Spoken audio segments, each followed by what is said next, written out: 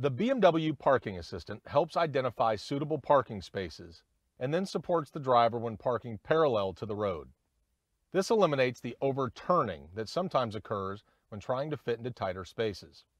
On some vehicles, perpendicular parking is also available. The parking assistant uses ultrasonic sensors to measure parking spaces on both sides of the vehicle anytime you're driving less than 22 miles per hour.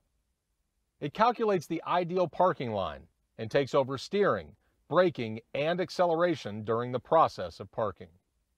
To begin, press the Parking Assistant button, located in the center console, and if necessary, check the box at the top for Parking Assistant.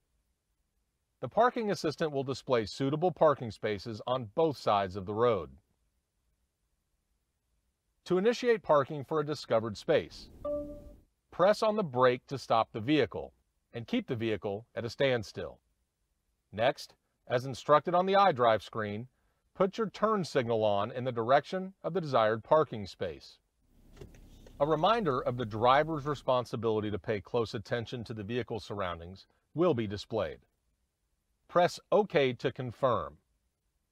Now, push and hold the Parking Assistant button.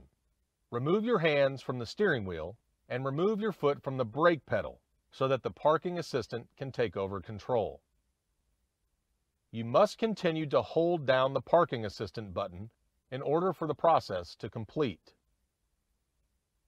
It's important to understand that, as the driver, you need to stay alert and check the traffic situation and the area around the vehicle and intervene if necessary. The easiest way to stop the parking assistant at any time is to release the parking assistant button. The end of the parking process is displayed and the system puts the vehicle into park.